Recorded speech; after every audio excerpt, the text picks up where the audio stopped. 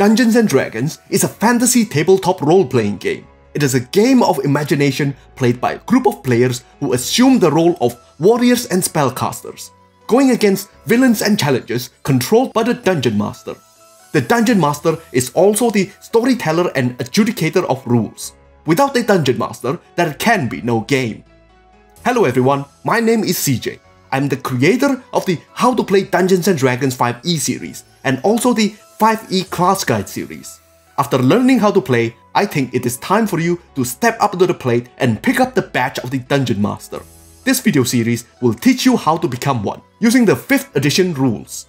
But the principle of dungeon mastering is the same no matter what edition you are playing. Just to be clear, this first video is intended for complete beginner DMs, running a game for equally new players. Some of the things I will be talking about in this video is going to be very obvious to those who have run a few games themselves. But to get everyone on the same page, I will start with a few general advice before walking you through a mock game session. Keep in mind that this is just a simplified version of my DMing style. You can use it as a reference until you develop your own. Future videos in the series will cover each component of the game in greater detail. So without further ado, let's roll initiative.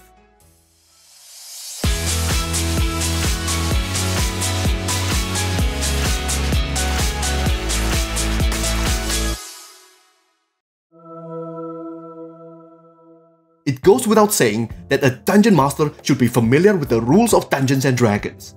Ability check and combat rules are a must. Spells and adventuring are also highly recommended. The first level class features of the class chosen by your players is also very helpful. But you don't have to remember everything. If you forget a rule, you can always look it up. But don't let every single rule details bog down your game. If looking up the rules is going to take longer than 5 minutes, then you should just invent something to your best judgment. Keep the game flowing. Unless your ruling causes a character's death or put your players at great disadvantage, fix the ruling at the start of the next session. Dungeon mastering is an art, rather than just a procedure of following the rules. You are not a computer, so expect to make a lot of mistakes. Even I still make mistakes after years of dungeon mastering, and I have interpreted a few rules the wrong way for months, or even years until my player corrected me. So don't worry about not getting it perfect the first time, because you can always improve. Before going ahead creating your own adventure, I highly recommend playing through smaller pre-written adventures first. You can buy the starter set and play the first chapter of the Mine of Phandelver campaign that comes with it. But I must warn you that the Mine of Phandelver and other campaign books are actually pretty tough, and the combat encounters are never exactly balanced for your party. They can't tell how many players you have at any time anyway. And if you make your players fight every monsters in every room in the dungeon, they will be wiped out halfway in. So it is up to you to adjust the encounters. It is possible to do it slowly, with plenty of short and long rests. If your players love their dungeon crawling and want lots of challenging fights, that's fine, but keep in mind that it will take a long time to advance the story. The main takeaway here is that you should use pre-written adventures as the raw material for your own adventure. You don't have to use everything, just take the parts that you like if you're running official games for Adventurers League, there are more restrictions, but for every other game, you are free to do whatever to entertain your players. For the sample session, I will use this short pre-written adventure that I've created myself. It mimics the style of official adventure modules, but it has printable maps and pawn pieces. The pieces fits the size of the enlarged maps so that you can use this if you don't have any miniatures. When starting out, I suggest using pawn pieces like this or even just the characters' names written on paper to represent their location. It doesn't matter if the map is not to scale, it will save you a lot of time from arguing about where everyone is actually standing. You can download this module from the link in the description below. If you have run this adventure, you can practically run most pre-written adventures. Before the game starts, tell your players what they should expect. For your first game, this part shouldn't take longer than a few minutes. Go through the general rules of the game, what the dice are for, and tell them that the DM has the final say on rulings. Then go through player ethics and things you expect out of them. Tell them whether the game is going to be PG or mature. Suggest but don't tell other players how to play their character. No backstabbing, at least for the first game. I am going to talk more about managing player expectations and session 0 in a future video. But for your first session, just keep it light. The first session doesn't have to be too long. Long sessions might scare away new players. Tell them that the game may take around 2 hours but may fluctuate depending on the number of players playing and their choice of action. These adventure modules usually start with a box text, a passage that you can read to establish the context of the adventure and the situation the player character or PCs find themselves in. You can do your own introduction of course, but reading from the box text is just easier. As you open your eyes, you find yourself in an eerie cavern. The interior is dimly lit by the sunlight shining through the hole in the ceiling. You feel sharp pain in your head as memory of recent events snap back into your mind you were hired by Roland Tress, Sheriff of Midheaven, to investigate the mysterious disappearance of travelers who were last seen in the vicinity of Hollow Rock Hills. As you investigate the area, the ground beneath you crumbled, throwing you underground, and upon hitting the rocky floor, you blacked out for unknown amount of time. Now that you have regained consciousness, you find yourself in a man-made cave with an upturned wagon to your side, and beyond it stood a heavy wooden door. This adventure is pretty linear, and the premise is easy to understand. You can expect that without telling the players anything, they know that they should find a way out. But don't be surprised if new players don't know what to do. It is okay to instruct them, railroad them a bit until they are ready to get off. Now is a great time for you to ask your players to introduce their characters. There is no pressure to be too creative. In longer campaigns, their characters might have personal reasons for coming to the town of Midheaven and taking the job. But if they couldn't come up with anything now, just ask them to say the characters' names, class, and race. That is enough. After the brief introduction, they hear a moan emanating from the deeper parts of the natural cave. Help me! Help me! You don't have to do a voice if you can't do it. If you have been watching Matthew Mercer's Critical Role, remember that he is a trained voice actor with years of experience. He is bringing something he is already a pro at to a game that he loves. I, like many other DMs, can't do voices, so we just say what the voice sounds like. Help me! Help me! A raspy, low-pitched voice called out. I have been trapped here for days. My leg is pinned under my wagon. Please hurry before they come to collect me like the others. The module expects the players to interact with this human merchant named Ollie Coopersmith they can free him from under the wagon with a strength ability roll of 12. If they succeeded, they will be rewarded with 2 healing potions, and 1 if they at least attempted to free him. He will also provide the characters with the information from these dot points. He is going to tell them about the mysterious hooded man who came in from the southern door and took his companions away. There is no script here. Just imagine the dialogue of a scared man who have been trapped in a cave for two days without food. There is no point for him to bring up the topic of what he's going to sell in Midheaven unless he is asked. Just play him naturally. But of course, players are notoriously unpredictable. Instead of saving the poor man, they could be wasting their time arguing among themselves. Who gets to approach the creepy disembodied voice first? They could even be arguing to burn the whole cave interior just to be sure that they are not dealing with a creature from the thing. Argument within the group can be interesting and even funny at times. You don't have to stop it. But if you sense that it is starting to cause frustration, find ways to advance the story. The module expects them to save the merchant, get through the door by lockpicking it or breaking it, and fight the cultists in the next room.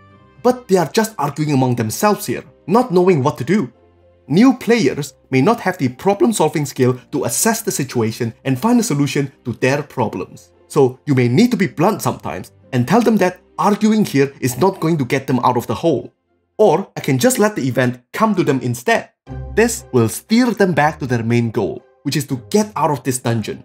It also creates a sense that the dungeon is alive and dynamic instead of a passive object to be acted on. Alerted by the noise of their argument, four cultists burst through the door Look who we've got here. More fresh bodies for the ritual. And combat starts. Roll initiative everyone. This is unorthodox. But to make it really easy for new players to understand what is happening, I usually reveal the enemy's armor class, hit points and bonuses to their attack for their first combat. The stats for the enemies are in the monster manual. They usually have the stats for unique enemies at the back of the module, but for your convenience, I have all the stats at the back of this adventure. I will get into the details of combat in future videos, so let's fast forward the fight. Cultists are easy enemies. It is unlikely that the players will lose.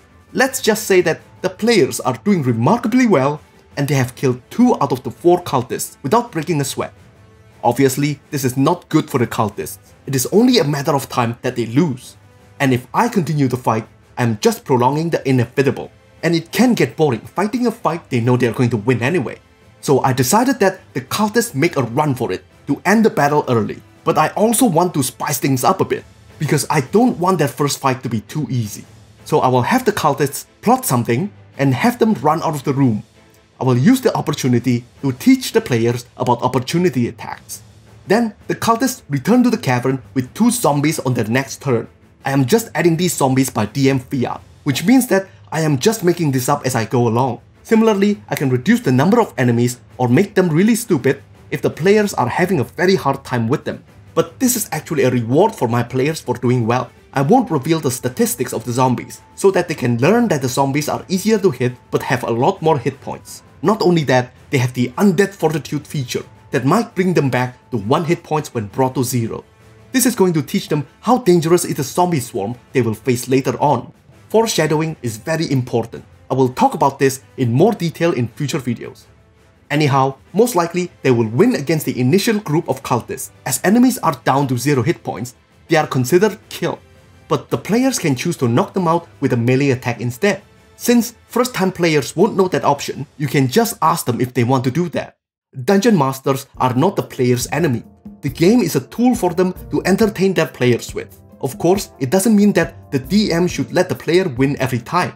You should provide them with fair challenge, though different players may have different idea of what is considered fair. My experience DMing have repeatedly proven that players are usually their own worst enemy there is a good chance that they will kill all the cultists anyway because they don't negotiate with evil, thus depriving themselves of the information they could learn by interrogating them. This is the place where the cultists used to stand guard. They can investigate the area and check out the trap chest with the do not touch note glued on top. I think it's fair to spring the trap on them without more hints, because it's obviously fishy. They can take a short rest here if they need to recover their hit points. There is no designated area for short rest in the dungeon, so you should just consider what makes sense. The next room is the boss's ritual room. It is unlikely that they can take rest in the presence of the head cultist, who is in the process of creating zombies. They will most likely get discovered if they loiter around there. But as a DM, don't be too quick to say no. Personally, I would have every single one of them make stealth check to beat DC 20 difficulty class, just so that they can rest quietly over there. It is highly improbable, but not impossible. If they succeed, then you should just let it happen as you facepalm yourself. By the way, short rest takes at least 1 hour in-game time, not real time. Once the players have finished calculating their recoveries and are ready to continue the adventure, the rest is over. It could just take 5 seconds in real time or 3 minutes. It doesn't matter. The same goes for long rest. Many people have asked me this question, so I will have to clarify it here. After the rest, they decided to confront a head cultist, so I read out the box text. In the center of this cavernous room, between the stone altar and a cracked statue of a demonic entity, you can see a decrepit man in a gold-threaded cloak, flanked by two watchful goblins. On the altar is a dissected cadaver that he gleefully stuffs with green glowing slime. As he notices your presence, he looks up, points his finger at before I could finish the text, the wizard decided to hurl a firebolt at the head cultist. It is up to you whether you want to honor your player's action and let them get a cheap shot. In this instance, I'm feeling generous, so I would give her the free attack. But I will not tell her any more information she did not learn because she interrupted the villain's monologue. I also want to create a moral dilemma for the players. So I will have the head cultist parlay with the party and offer them freedom as long as they leave peacefully. He flips the lever to reveal an exit at the southern part of the cave. They can go away now. All they need to do is to leave the merchant in the cave for his use later. This should create a bit of drama. But if your players are like some heartless douchebags that I know, they would choose to leave without batting an eyelid. Then, the moment they are making their way out of the cave, I would have the cultists shut the exit suddenly and flip the other lever to spring the spike trap at them. By now, you should tell them that it is possible to discern whether an NPC is lying by rolling insight. Roll initiative. It is time for another combat. Usually, modules provide some basic strategy for enemies. For this combat encounter, the head cultist will use his action every turn to wave his green skull talisman at the air to command his special zombie servants to move and act. He will only personally attack the players if he lost possession of the skull or if all the zombies are destroyed. There are 6 zombies, 2 goblins, and the head cultist. Your players are dangerously outnumbered, so they have to play it smart. There are a few ways to get out of this mess. The common gamer's answer is to rush the boss and kill him. But there are a lot of obstacles between him and the character. If your players are creative enough, they should come up with ideas such as shooting the skull and breaking it, lasso a rope at the statue and pull it to crush the cultist, or shoot the lever so that they can open the exit from a safe distance and run away. If you see them struggling, drop them a few hints. As a DM, you are not bound by any duty to kill them. In my circle, it is bad karma to kill first time players unless it is necessary to the narrative. But it is completely acceptable if they are asking for it by doing something completely stupid like jumping into a pool of lava. Some will do it just to see what will happen, or to upset the dungeon master. It can be a form of entertainment for some players to mess with you. Trust me. No, I am not. So let's say that the player somehow made it by escaping. Even though it goes against the module's intention for them to fight and win, it is not a game over. Because D&D is not a video game. They don't repeat a stage just because they did not achieve the victory condition. The story goes on. In fact, they may think that they have triumphed for being able to survive such overwhelming odds. You just make up the logical aftermath and hook up to the next adventure. But feel free to guilt trip them with the fact that they have completely forgotten about Ollie the merchant and left him in the cave to be the next subject of the ritual. Not exploring the whole of the dungeon is a very common thing. Sometimes even less than half of the written material get used. I also ad-libbed a lot of the events just to make it more interesting for my players. So don't be a slave to the text. Before I end the video, let me remind you that there is no single best style for dungeon mastering. Some dungeon masters are better at certain style, but it doesn't hurt to know more about others, because the best game your players will ever experience is the one that's run with their preferences in mind. I will get into the theoretical side of dungeon mastering after going through the technical side of the game. The next episode in the series will be about monsters and NPCs. If you think that this video has been useful, give it a thumbs up. It will help budding dungeon masters to discover it. If you haven't subscribed, please do so and press that bell button so that you will be notified when the next episode is released. CJ, over and out.